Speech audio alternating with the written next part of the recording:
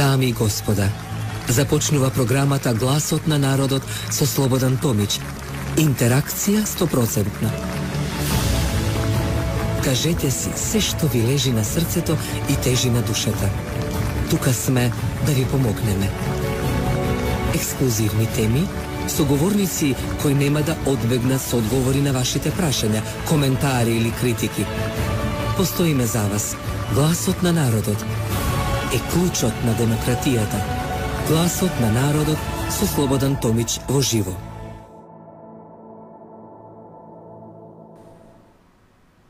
Добро вечер, почитувани, добро дојавте во Гласот на народот.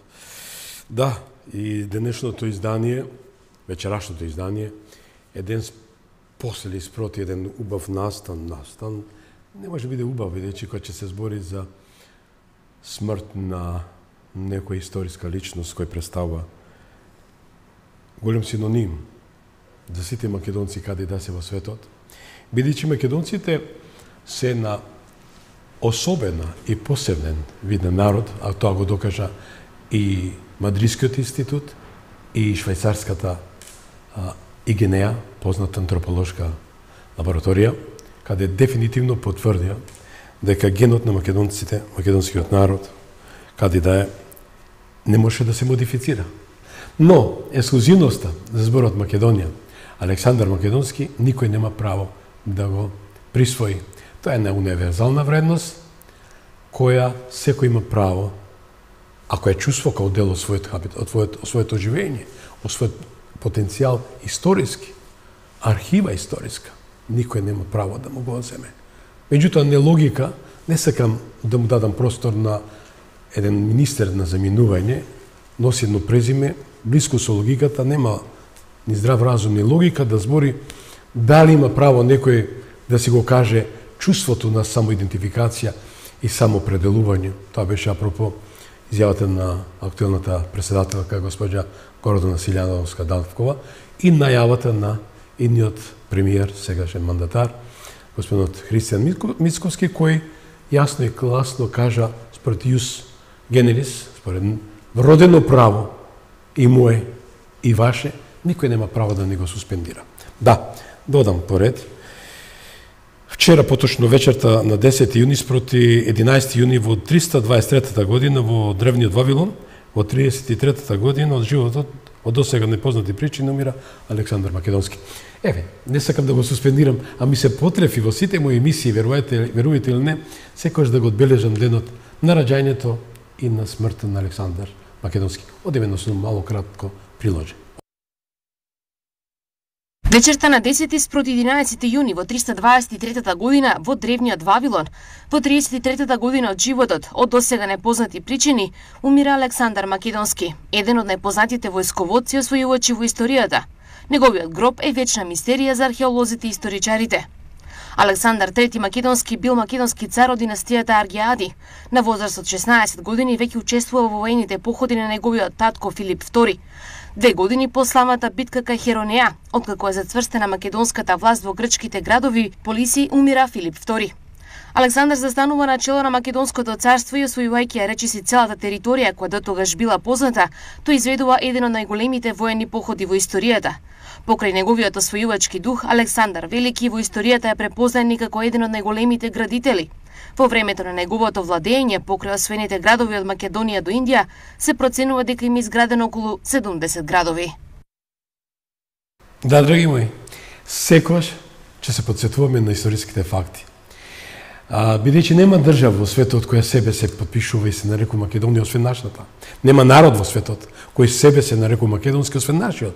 Нема народ кој збори на јазик кој самиот си го дефинира и го чувства и го збори, а тој е македонскиот народ, тој е македонскиот јазик. Ја толку би сакал сам да дадам и ќе ја подсетам. Секогаш дека историјата е таа што имаме и ја носиме. Бидејќи 10 пати кажена лага станува вистина. А вистината е ова што го кажавме, дека универзалните вредности, името на Македонија и Александар Македонски не може да биде ексклузивитет никому, ни на нашиот јушен сосед, па и наше не. Сегде каде што царот на царевите беше и, и ја извршил таа своја мисија на облагородување на облагородување на писменоста и културата. Еве, тоа нека биде мојот вовет и еден моја мојата најава и по најавата, по джинглот ќе го најава мојот ваш вечерашен ексклузивен соговорник. Останете со нас. Гласот на народот со Слободан Томич. Гледајте ме. Да, после овај мој вовет, убаво е да го представам мојот и ваш соговорник, кога го познам, рече си две по децении, толку сме заедно. Колку што и бројката 24 од, нашиот роден ден што одбележавме минатиот месец, и рековме ќе одиме еден месец, тоа е 24 години гласот на народот. Добро вечер и добро дојде Сем Вакнин. Thank you for having me again. А. Ми беше ми е задоволство големо што си што си со нас во секој случај. А до што да кажам, уште еднаш голема благодарност до Жан Станоевски кој несебично не поддржува и во ова издание. Жан, ти благодарам многу.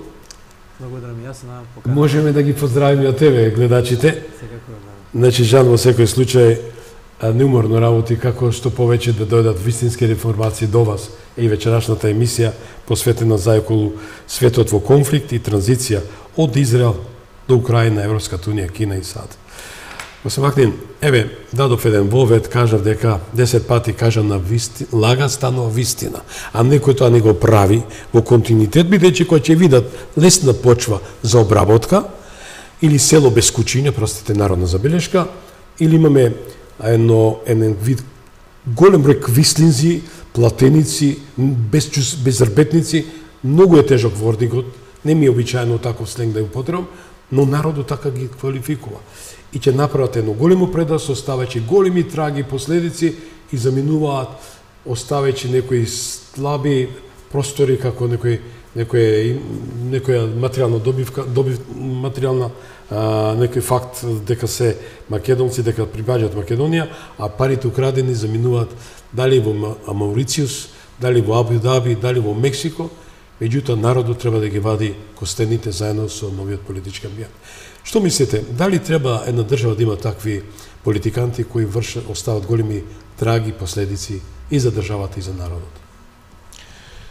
Well, of course, it's not good to have such да politicians. Uh, but it is, I think, inevitable Неизбежно е, ми се чини, because uh, politics is Политиката about taking from one group е and земање giving to од една another. група и давање на друга група нешто. Politics is about Политиката patronage. е патронат, The, uh, the politician has clients, and the politician must satisfy these Чарите clients. мора да ги задоволат своите And usually there's no legal way to satisfy these clients. начин да ги задоволиш So своите this клиенти, leads to така да тоа води corruption, до корупција, misallocation до of economic реалокација, resources. лоша алокација and на so on and so економските forth. This is средства и така common натаму. Тоа е in во all countries обичаен of the начин world. на There's работа not во a single целиот свет, exception.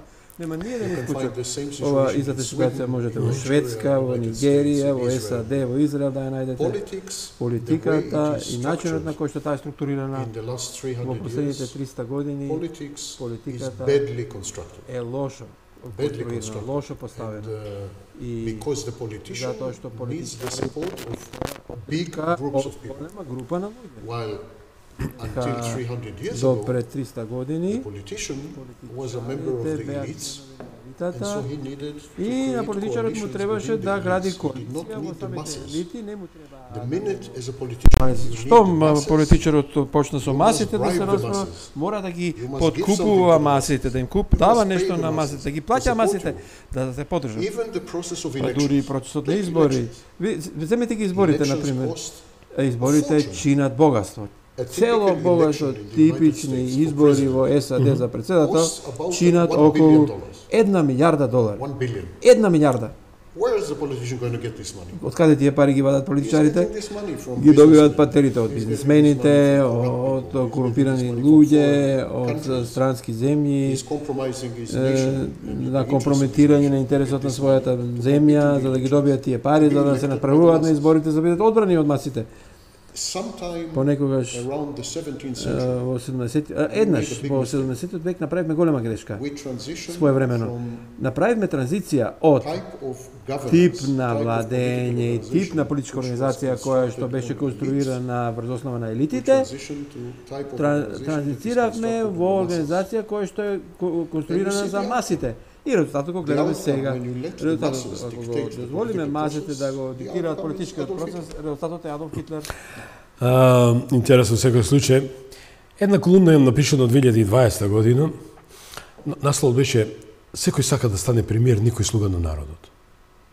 И добив повеќе пред некој ден пораки од познати историчари. Слободан, ја читаме твојата колумна. Но, еве, да бидам искрен, не сум бил и нема да бидам никош апологет на ниеден премиер, председател, политичар. Ово кажувам од се срце, бидејќи секој сум и по името слободен. Не можам, не работам со режим контрол. Но беше предизвик да го слушам новиот мандатар, идниот премиер Мисковски, кој храбро кажа, ќе бидам слуга на народот. И мојата политичка провиниенца, партија и влада ќе биде слуга на народот. Тоа се искрени зборови, затоа зашто зборам? Утре ден- денот се познава. Но имавме една прилика, морам тоа да барме на дигресија, имавме човек кој се колнише во дедо, Чукун дедо, прадедо, Зоран Заев, да додека дише, нема да го смени името. И се она. Но се случи обратно. И резултатот на сето тоа, за неколку дена, се одбележува тој таа годишна шеста од Прескан, Преспански договор, кој видовме, морам му да кажам, дека во едно насочен сообраќај. На македонците и на Македонија дадено максимално да ги имплементира, грците како по дефолт, дабл стандард, не. И дрскоста да биде голема, вели, ако не продолжите да го имплементирате, ние ќе ве дадеме на суд и прекинувате блокада друга. Кажете ме, ви дадов многу прашања, како еден странец, како еден угледен аналитичар, познаваш на приликите, кој е вашиот став, вашата анализа? No, I wouldn't like to comment Не би сакал да коментирам за because во Македонија, затоа што не In сум general, in general. информиран целосно, general, но генерално сакам да кажам оно што го спомнавте слуга на народот. Секој почнува политиката со добри намери. Намерите се добри, да им се помогне на луѓето, да се направи разлика, да се подобри економијата, да се подобри стандардот на населението, состојбата во светот. Секој почнува со добри намери. Но животот не е за идеологија, се работи за компромиси во животот. И колку повеќе правиш компромиси, толку покоруптивен стануваш и толку по Life заинтересиран pushes за себе. И животот те турка да ги забораваш and beautiful и прекрасниот words. свет, и зборови. И едноставно да одиш на На дело, да бизнис се види. да почнуваш да Темата што ја дефиниравме денеска го одрам за првиот во дел од разговорот, светот во конфликт и транзиција од Израел до Украина, Европска унија, Кина и сад, меѓутоа вр, врти сучи повторно како имаме НЗС. Заеднички содржител, именител, што се вика така. Еве, од 7 октомври ја начнав со тебе емисијата. Така? Две. А, Да, ова трета, меѓутоа токму кога почна конфликтот и војната во Израел. И ги пробивме сите тие а, лоши планови на Биби Натањахо, кој на вистина ден денеска неговиот народ не го сака. Што, кој вашиот коментар е таа дистанца од октомври и сега, кога слушнаме дека Советот за безбедност изгласа резолуција, Американците не му дават подршка, дали е тоа, еве го видовме, Блинкен денеска имаше средба. Еве, еден, сиш- еден, еден резиме на сето она. Israel Израел discovered the откри limitations of power. дека ограничување на моќта треба да Exactly like постои. Discovered Како што Америка ја откри лимитирањето на моќта во Exactly Афганистан like и Ирак. Исто така како што Русија сега открива дека има лимитација, ограничување на моќта во Украина. Израел откри дека нема воено решение за политички проблеми.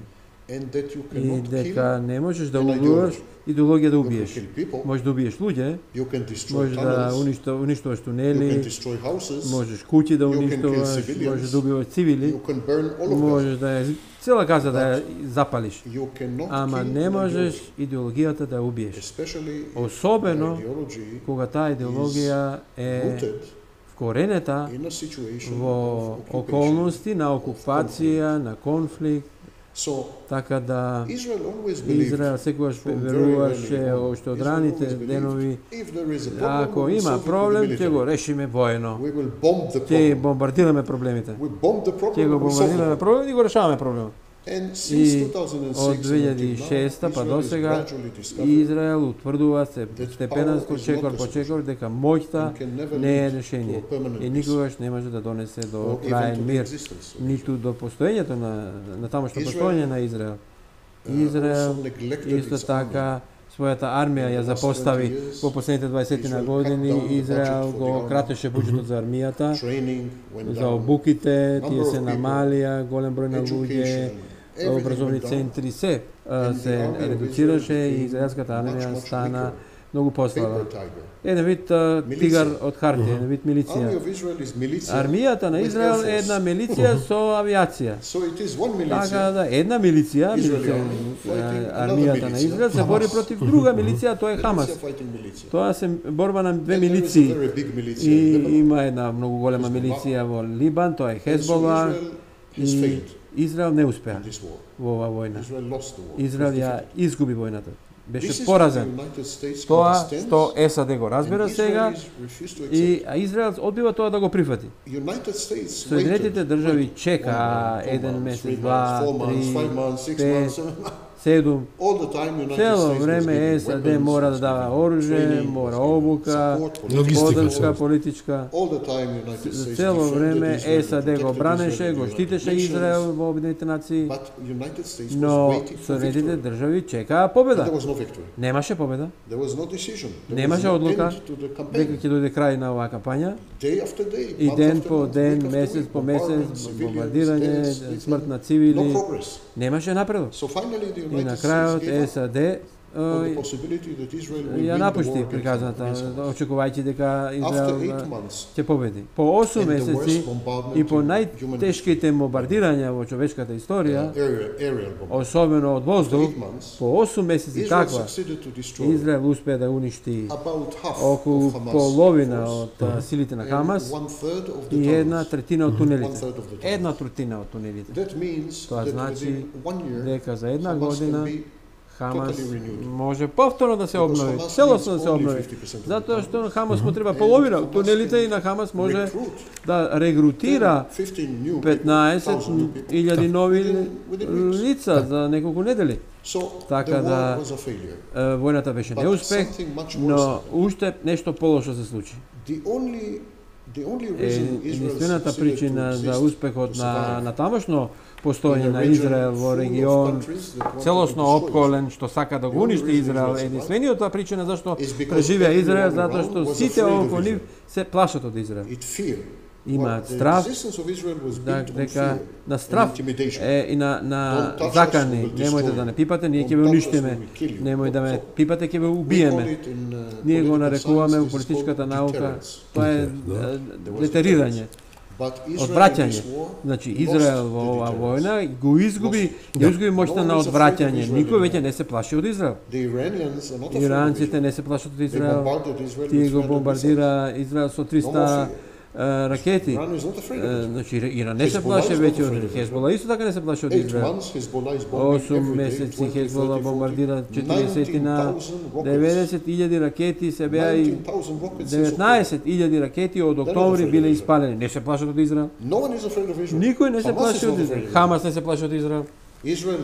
Израел ја изгуби моќта на одвраќање, што доведе до многу лоша ситуација и многу лоши вести се ова, затоа што ако овие сили соработуваат, тие ќе го уништат Израел. Сигурно.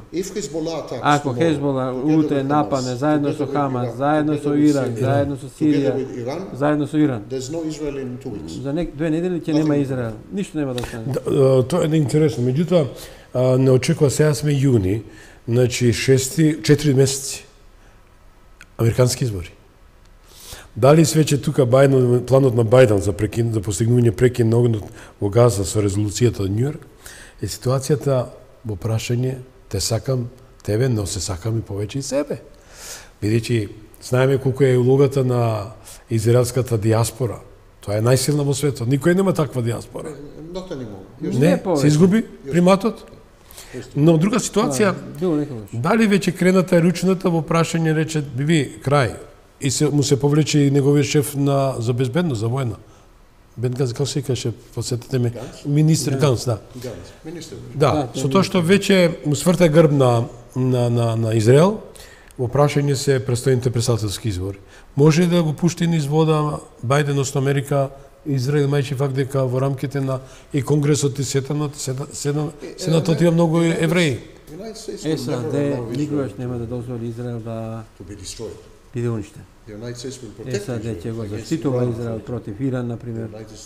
САД никогаш нема да дозволи да од Израел не биде на мапата, затоа што Израел многу користен на САД за поради разузнавачките информации што ги собира, поради базирањето на оружје, многу оружје има на американско оружје на израелска почва и така натаму, но Изра... Америка треба да земе предвид дека некои геополитички и домашни состојби околности се поинакви. Бројот на муслимани, например, има 2,1 милиарда муслимани во светот денеска. Бројот на муслимани во Европа. Само во Германија има 3 милиони да, исламски 3 или 4, колку беше? Да. 3 милиони. Само во Германија. Во Франција имаме уште 3 милиони, други 3 милиони. Така да Европа станува постепено квази маслим. Еден вид квази муслиманска средина, континент на муслимани. Inside America, во Америка, младата генерација е промуслиманска.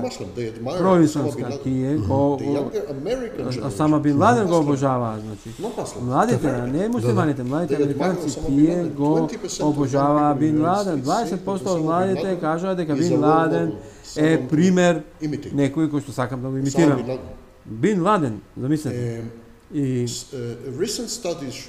во една последна студија покажа дека половина од американците по 35 годишна возраст сметаат дека Израел треба да биде уништен, одстранет и дека Хамас и сличните терористички организации треба да ја преземат контролата да владеат. Значи тие се про Хамас, про Хезболак, про ирански, про Алкаида ориентирани. Млади Мнозинството од нив се антиизраелски настроени. Не анти-Нетањаху, антиизраелски настроени. Не сметаат дека Израел треба да постои. Тоа е огромна промена. И сакам треба да кажеме дека муслиманското лоби во САД станува многу силно. Веќе имаме конгресмени што се муслимани, интелектуалци. Муслиманите постепено го преземаат местото на евреите. Јас напишав есеј и насловот беше муслиманите се новите евреи. Мислам дека иднината е на исламот. Иднината на светот е во муслимански раце. Исламот е најбрзо растечката религија во светот. Христијанските религии губат. Муслиманите добиваат се повеќе нови верници. Сите други вери умираат. Ислам, исламот да, цвета. Јас извинам, сакам, не сакам, морам да те прашам, со оглед дека а, како аналитичар и светски експерт на оваа тема, јас повеќе пати настојав да свртам внимание кон македонската власт. Предпоставам дека и ово велам и за исламската заедница во Македонија која не го прифаќа тој е таа зелена трансвезала, тој исламски калифат. Беа експерти од Брисел дојдени 2009-10 упатија warning внимание внимавајте што ќе се случи. Пред очите и јавноста, македонската јавност, че зборам и по роди и по државјанство. Значи има и албанци тука кои не го прифаќаат тој исламски калифат, таа зелена трансвезала. Македонија е ставно исламска држава. Најпрво, многу малку муслимани се фундаменталисти. На фундаменталистот, мислам, да. Многу малку. Мнозинството од муслиманите не се радикални, не се фундаменталисти, ама во исламот има концепт ума, се нарекува. Ума, значи сите муслимани се членови на една нација. Една и таа нација е поважна отколку државата во која што живее. Значи, американските муслимани, индонезиските, филипинските муслимани, газаските муслимани, припаѓаат на иста нација, на ист народ и нивната ума, муслиманска нација е поважна од државата Филипини, Газа или било кој. Така да, дури кога не се фундаменталисти, кога не се радикален, You must support the Muslims. Мора да ги поддржуваш муслиманите, мора да ги поддржуваш, never mind what they do. So без разлика што што да прават. it is relevant Така да е релевантно да се каже дека исламот станува доминантна религија на едината. Тоа е многу релевантно затоа што ти се Да, а, координиран. сакам тука да закружиме тој првиот дел за за Израел, односно наспроти Газа и секој случај, но да не бидам погрешно разбран и до нашите гледачи, јас имам голем број пријатели муслимани и се тоа, а, и во Светото писмо Куранот што е основата го користи фундаментот и од Светото писмо, значи не вели таму убивај, коли, кради, напротив. Ние збориме за фундамент, радикалниот фундаментализам што е опасност. Но ајде да се вовратиме ова. Ако имате нешто да ми додаде да ми додадеш нешто за и околу а, Израел, а, Газа, да предам веднаш на Украина, Русија. Апропо, Вашингтон посвели, дозволете ми, САД ја укина забраната на украинската бригада Азов да користи американско оружје. Понатаму, Американската администрација ја укина забраната што ја спречуваше контроверзната украинска војна единица Азов да користи американско оружје, пишува Вашингтон Пост, повикувајќи се на State Department. Зошто го велам?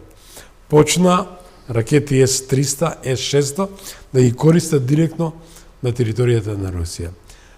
Кој е твојот коментар визави се тоа дека веќе се отварат? Нели е тоа малце не сакам ради- да звучам апокалиптично, дефетистички да речам, дали може да се случи трета светска војна? It's a catastrophic decision. Тоа е катастрофална одлука, катаклизмична одлука.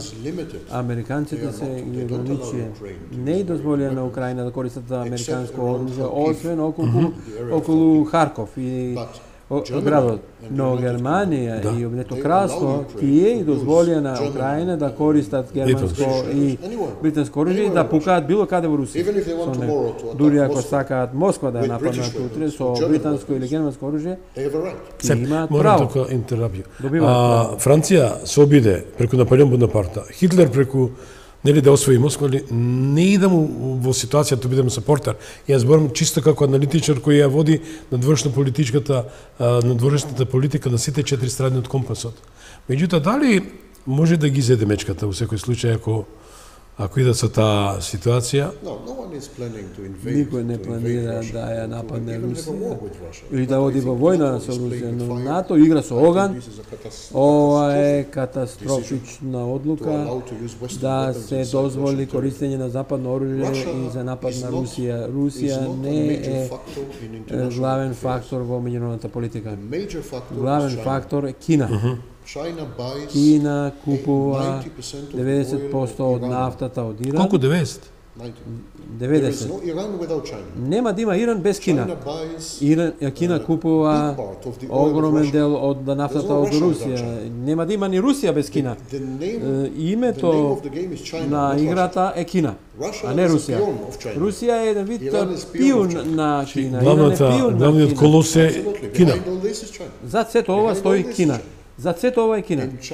И Кина користи, го користи Иран да, да дава оружје на. Русија. Korea, Кина ја користи Северна. Кореја, тие се сојузници.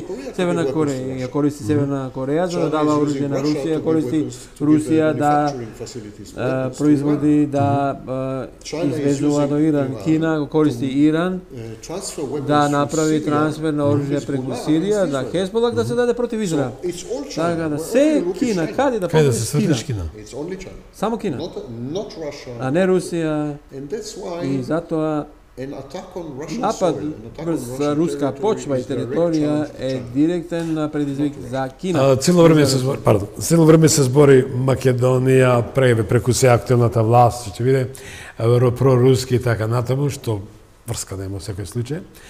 Да подсетиме дека цела Грција, членка на НАТО Европска унија, цела Пиреа е руско-кинеска инвестиција. Се согласувате со мене? Yes, Да, Србија, Serbia, видите Србија, да. Унгарија. Ја би ги дискутирал тие. Можете уште да ми додадете околу апропо ова, е, Украина? Ако Марин Да, одиме на тоа, да. Ако десната политичка На 30 струја победи Пен на е изборите, pro-Russian. Мари Ле Пен е проруска.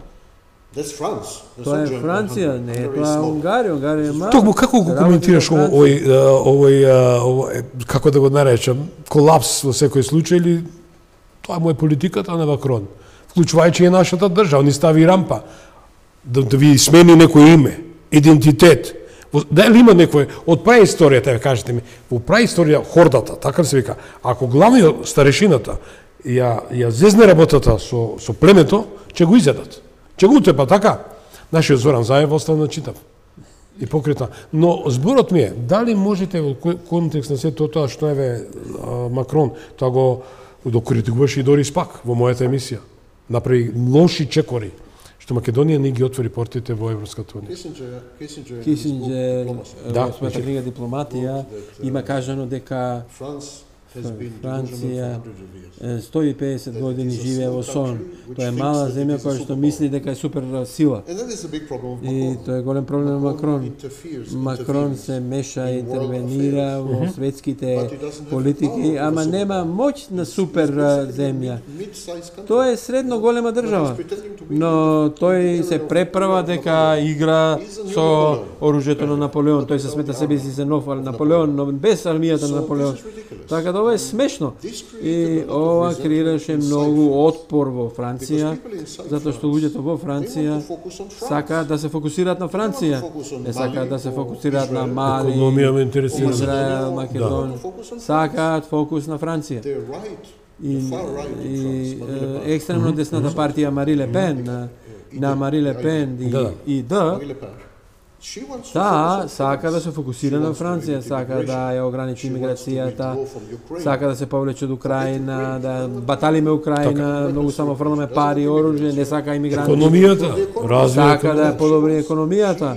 Таа е прво Франција ориентирана, но ни цел свет го гледаме. Трамп, исто, и холанџаните исто така, и холандски. Да направиме Америка посилна или голема повторно. Значи, луѓето се уморни и, и од, од, од пикање на својот нос во бизнисот на други луѓе. И кога нивните земји се распаѓаат како САД, како Америка, знаете, САД стотици милиарди долари исплюка на Украина, 2 трилиони долари долари во Ирак и Афганистан потроши 2 трилиони долари. И ако ги посетиш САД, мостовите се распаѓаат, патиштава се, во катастрофа, школите, САД изгледа како Африка. Земете ги тие 2 трилиони што ги потрошите во Ирак, Афганистан, Израел, Украина. Тие пари да ги подобрите својата земја и држава може да го направите. Значи има еден бран на изолационизам изолација. Не доаѓај кај мене. Не те сакам. Остани во твојата држава. И јас нема да дојдам во твојата држава. Нема да се мешам во твојата работа, ти не се мешаш во мојата работа. Не се мешај кај мене, не. Ниту како имигрант, а јас нема како окупатор да се појавам во твојата земја. Ајде да се поделиме. И тоа е Има шанси да ги трнат да овие бегалците, мигрантите што Беше на, на ситуација кај Џорџ Сорос е автор на, креатор на сето ова окупација на Европа од страна на мигрантите, си, сите овие што се. Ангела Меркел, не Сорос. Меркел ги отвори портите. Кога сириците доаѓа Меркел и отвори Германија. Велише збореше Сорос дека јас те создадов и мора да ме слушаш. Меркел не беше баш некој пријател на Сорос, но факт е што во светот денес има 70 милиони бегалци. 70 во Европа? Милиони ни светот бегалци плюс околу 40-50 милиони внатрешно раселени лица во самите своји држави. Ова е најголемиот број во историјата. Од кога да е?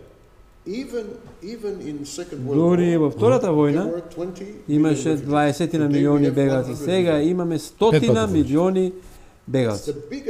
Најголемата бројка во човековата историја.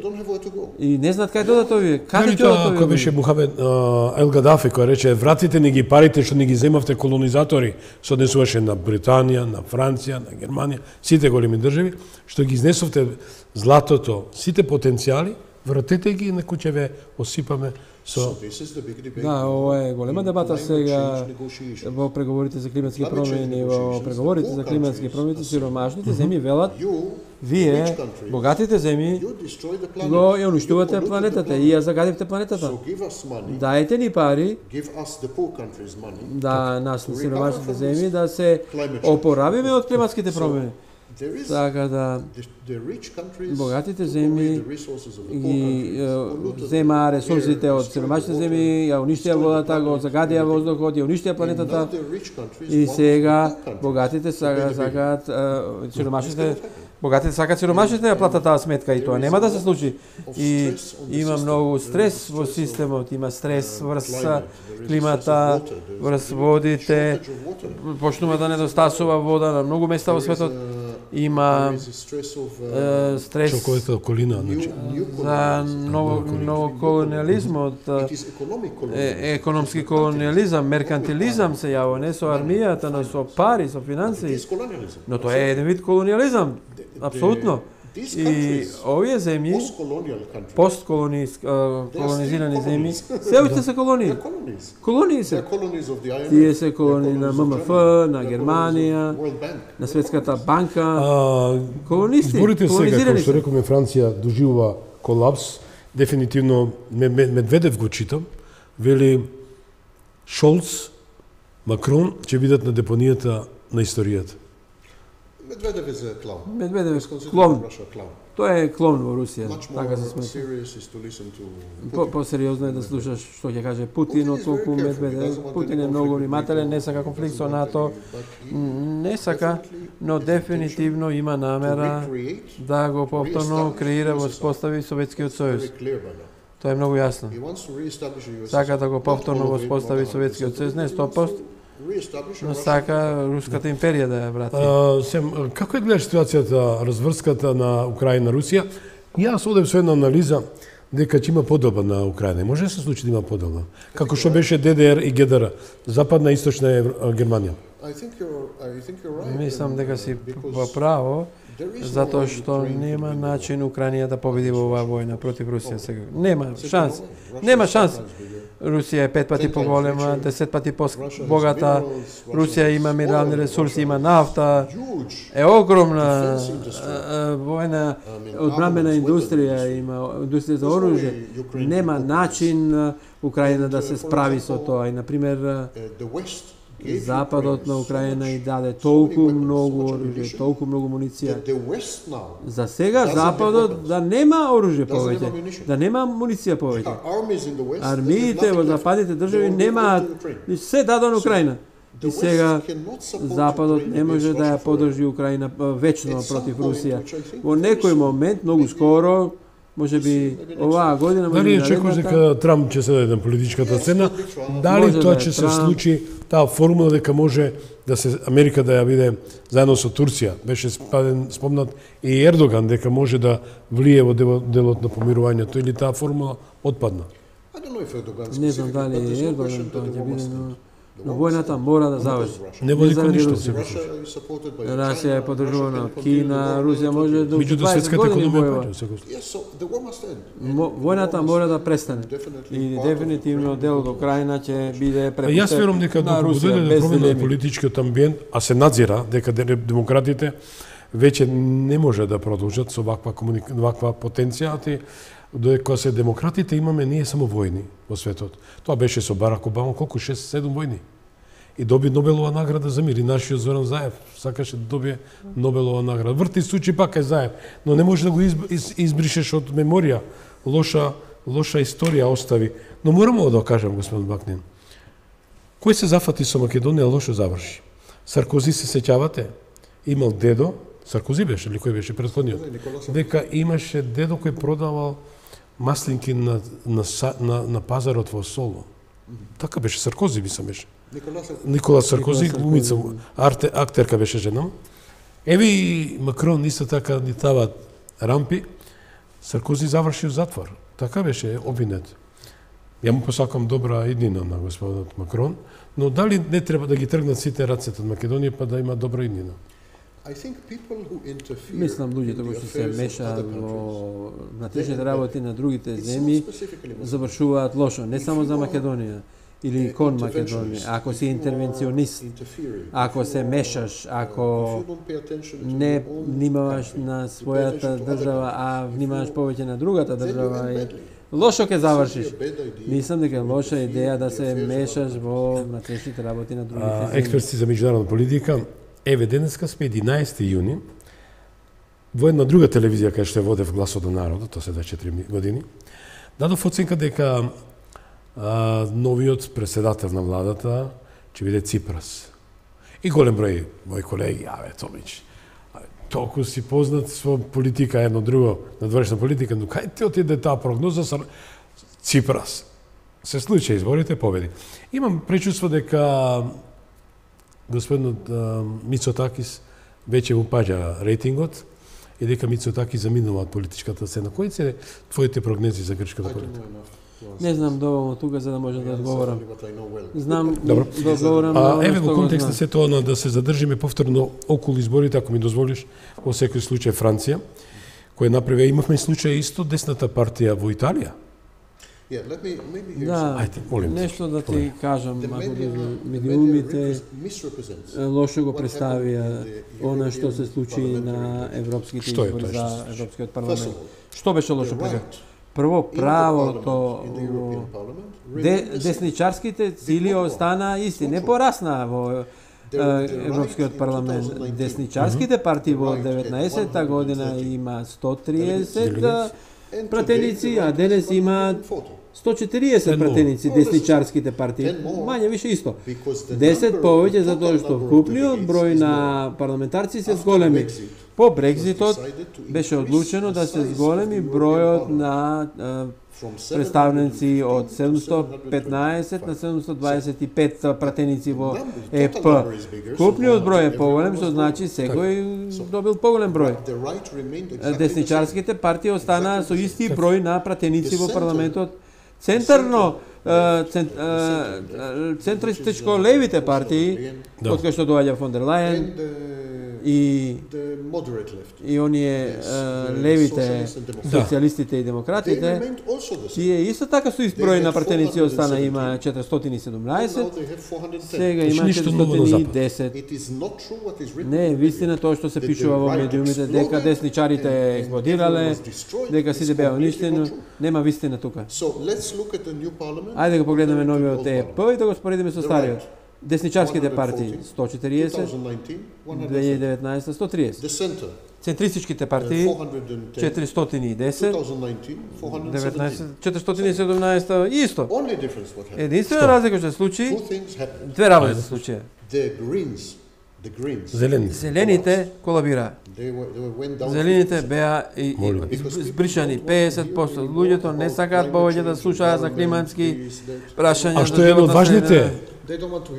Не сакаат повеќе за тоа да слушаат, затоа што економските трошоци за справување со овие проблеми се огромни и затоа што левичарските партии ги киднапира климатската промени, ги политизира, ги компрометира климатската промени се научно прашање, тоа не е политичко прашање и левичарските партии го направија тоа да биде политичко прашање. И луѓето едноставно зелените ги шутна и зелените падна 50%.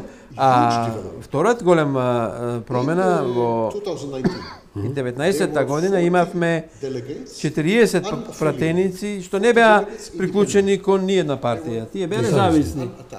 Тие беа не приклучени на независни, 40. На овој ЕП имаме стотина такви. Што се случи? Значи, десничарските остана исти, центристичките партии исти, левите исти, Независните порасна од 40 на 100, а зелените падна од 70 на 50. Ова се двата, двете состави, не десни, леви, центристички. Ова се два... Што правиме со зелениот од Македонија, тоа е Алих Мети, кој рекол ќе биде зелен, он паднал тотално. Минатата емисија ја крстев СДСМ Дуј паднати од звездите во Трње. Имаше една Елена позната од Трње над звездите, Аполо го користеше. Но што правиме со таквите? Јас се замолувам. Знам дека не сакаш да коментираш за Македонија, но еве, како како еден новинар кој слушаш, читаш во секој случај. Еве, јас морам ова да го коментирам со оглед дека во секоја нормална цивилизација, демократија, првото што ќе се збори на состанокот, тоа е environment, човекова околина, electricity, енергетика. Еве, гледам јас терав една емисија минатата недела со професорот Константин Димитров токму за енергетиката. Новиот премиер еве денеска учествуваше на панел дискусија за енергетскиот потенцијал. Дали треба секоја држава, вклучувајќи нашата, да инвестира во енергетскиот потенцијал? Uh, да, енергијата е клучна, критична не заради тоа што нема енергија. Има доволно енергија. Критична е затоа што енергијата се користи како оружје во војните. Така да кога имаш конфликт помеѓу САД и Русија, првата жртва е нафтата. Кога имаш конфликт помеѓу Иран и другите, Има многу нафта, има многу струја и природен газ, но заради геополитичките конфликти, одеднаш може да се најдеш без енергија, без енергенци. Така да само задоволањето на потребите енергетски е главна цел. Морам да бидам принципиелен на, на времето. А, чеси задоволство што си ми мој гостин. Која е твојата порака? Еден сублимат, најкратко те молам. Тоа е твоја камера. Живееме во историски времиња, каде што западната цивилизација што постоеше 500 години и се ближи крајот. И постарите цивилизации, кои што беа пред западната цивилизација, кој се случија пред западната, тоа е веќе Кина. Кина го контролираше светот пред Западот тоа да го прави. Западот е нов. Западот му се ближи крајот и Кина презема. И сега секоја земја мора да го прифати тоа и да се прилагоди.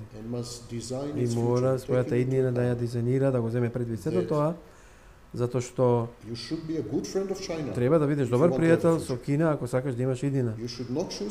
Не смееш да го одбереш лошата страна од историјата, ќе пропаднеш како Титаник. Така да многу земји погрешната страна ја избраа во историјата, на пример Израел и Украина. Лош избор направија. Ти благодарам многу што наистина одвои еден час, да речеме, школски час, меѓутоа даде ги отвори ширмо очите на тие кои при очи се слепи, простете народе, но тоа е при уши се глуви, а при памет не би сака да коментирам. Ти посакам многу добро здравје теби на Лидија и на сите твои наблиско. Благодарам многу почитувани. Еве дојдовме до крајот на оваа емисија. На вистина, Сем Вакнин, аналитичар и колумнист на Бриселски монитор, даде вистинска оценка, една длабока анализа за се ова што ни се случува и неодамна се случи во Европскиот парламент. Бите ми живи здрави. Гледајте не на полноќ реприза и секако на YouTube, а ве поканувам исто со ултра ексклузивна емисија во петочното издание магазин Вечера за Слободан Томич. Останете натаму на оваа фреквенција на Вистинската телевизија, телевизија Вистил. Пријатен вечер.